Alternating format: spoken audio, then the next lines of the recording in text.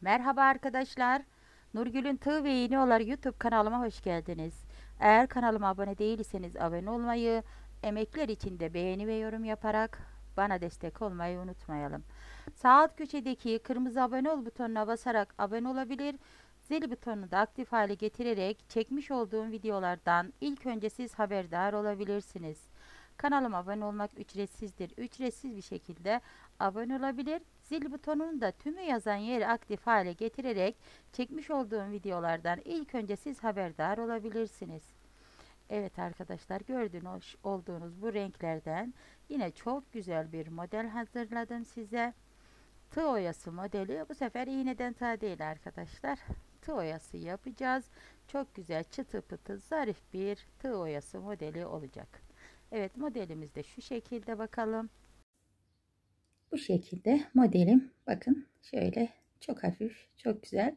Şöyle arasını da bu şekilde ee, çiçeğimizin kirpikleri olduğu için sade değil de kirpikli trabzanlardan hazırladım. Evet modelim bu arkadaşlar. Şimdi modelimizin anlatım kısmına geçelim. Şöyle bir de tersinden de bakın.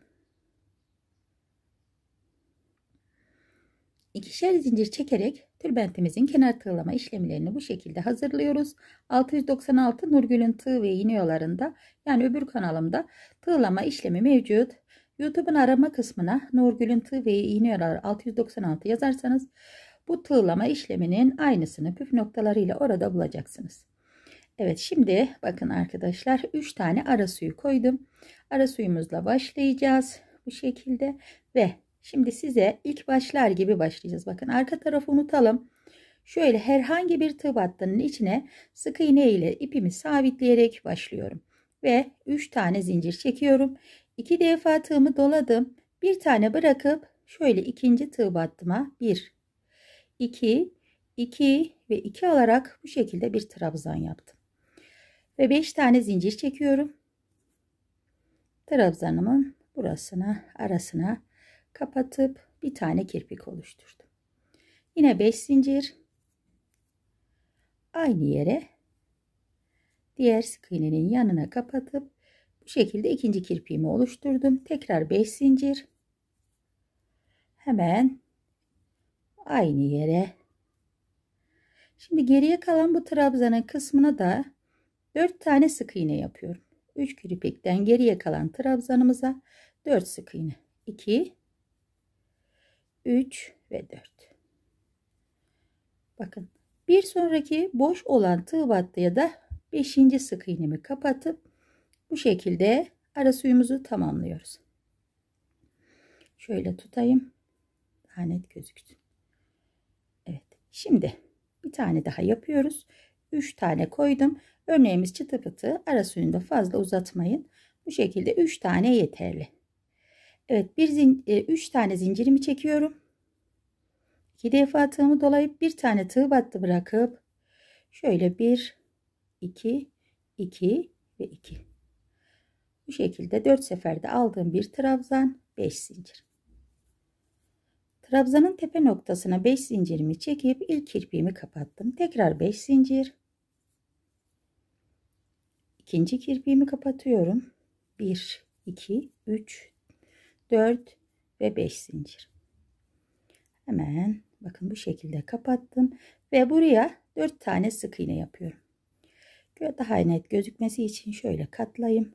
2 3 ve 4 bir sonraki dibine değil bakın trabzanı yaptığımız yuvaya değil bir sonraki tığ battıya kapatıyorum ve yine 3 zincir çekiyorum. Şöyle ara suyu bu kadar. 3 taneden oluşuyor bakın arkadaşlar Yeterli bu çıtı pıtı hali. Şimdi yuvamız için böyle kirpiksiz trabzanlar yapacağız.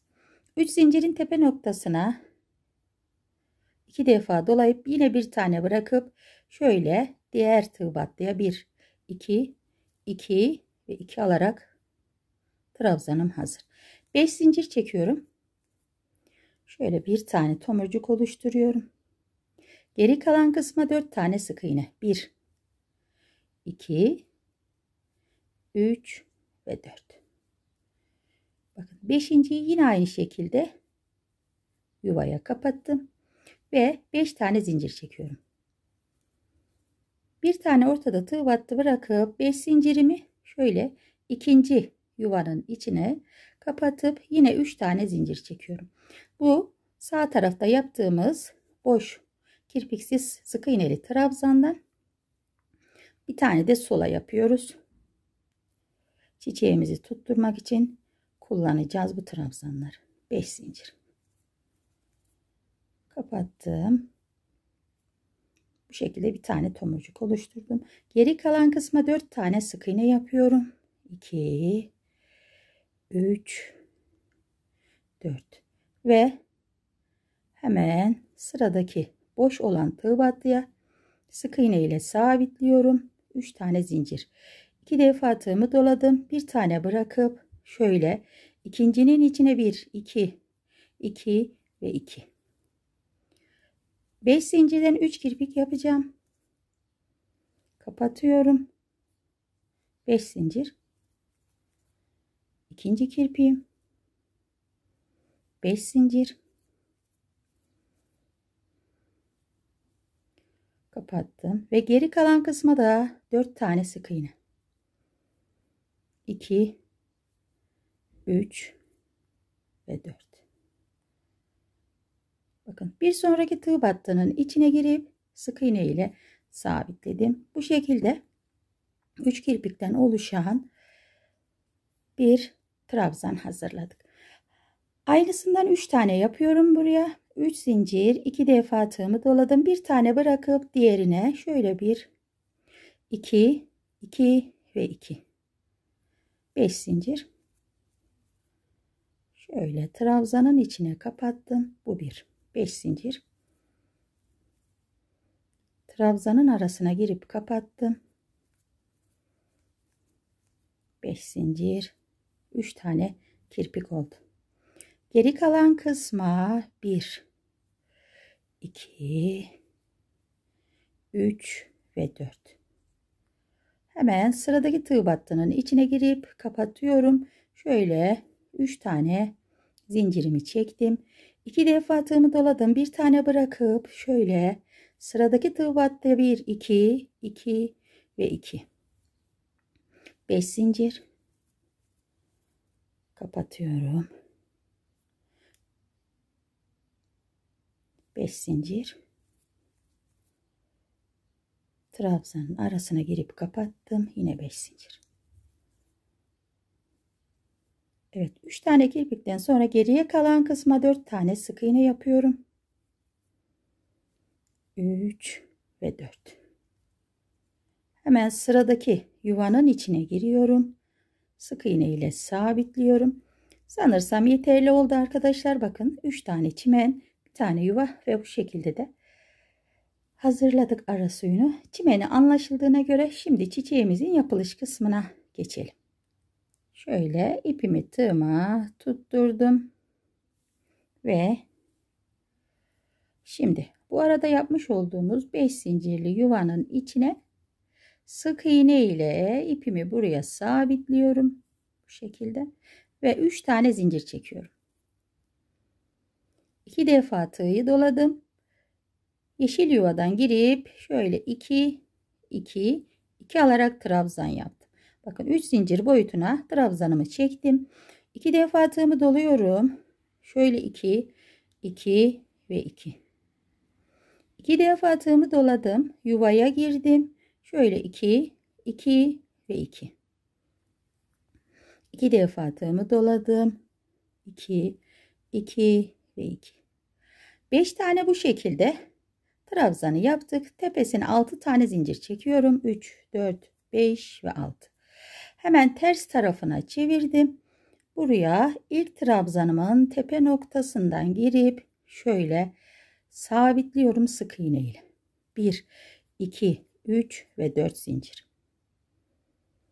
Yuvanın içine girdim. Sık iğne ile sabitledim. 1, 2, 3 ve 4 zincir. Düz tarafına dönüp hemen trabzanıma 4 e, zincirime kapattım. Şimdi arasına bir zincir çekiyorum. İki defa tığımı dolayıp aynı yuvanın içine şöyle 2 2 2 alarak trabzan yaptım. 4 zincir kapatıyorum. Bir zincir çekiyorum aralarına her trabzanın arasına bir zincir iki defa tığımı dolayıp şöyle 2 2 2 3 seferde aldım 4 zincir. Kapatıyorum trabzanı. Bir zincir çekiyorum araya. İki defa tığımı doladım. Şöyle 2 2 ve 2 4 zincir. Kapattım. Arasına bir zincir. İki defa doladım. Şöyle 2 2 ve 2 4 zincir kapatıyorum bu şekilde. Evet toplamda 7 tane yapacağız bu şekilde. Aralarına birer zincir iki defa dolayıp 3 seferde şöyle 2 2 2 alarak trabzanlar hazırlayacağız ve 4 zincir. Kapattım bu şekilde. Bir zincir iki defa tığımı doladım. Yuvaya girdim. 2 2 2 1 2 3 ve 4 sık iğne ile sabitledim. Bakın arkadaşlar 7 tane oldu. Hemen bir zincir çekip ondan sonra sık iğne ile buraya sabitliyorum. Zincir çekmeden sabitlemeyin. Çok yapışık duruyor. Böyle görünür hali çok güzel. Evet bir zincirimi çektim. Şimdi makası. Şöyle e, koparalım arkadaşlar. Yakarız burasını. Bu şekil oluyor bakın. Şöyle kalıp gibi e, çok güzel bir minik çiçek oluşuyor. Evet hemen ipimi yakıp temizleyip geleyim. Evet modelimiz bu şekilde. Çıtı pıtı çok tatlı bir model oldu.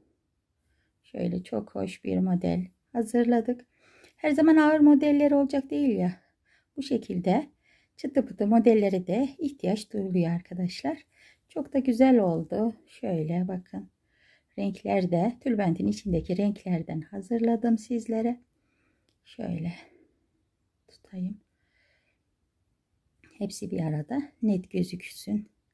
Şöyle cıvıl cıvıl. Evet. Modelimiz bu şekilde arkadaşlar. Şöyle tekrar bir göstereyim. Bir de sallantılı haline bakalım. Şöyle tülbentimizin çevirerek içindeki renkleri bakın şöyle her renginden içinde ne kadar renk varsa hepsinden koyabilirsiniz arkadaşlar. Sırada mesela yapmış olsak mor rengimiz olurdu. Bu şekilde. Şimdi üçünü kullandık. Çok da tatlı oldular. Çıtı pıtı bir model oldu. Gerçekten çok hoş bir model oldu. Şöyle göstereyim.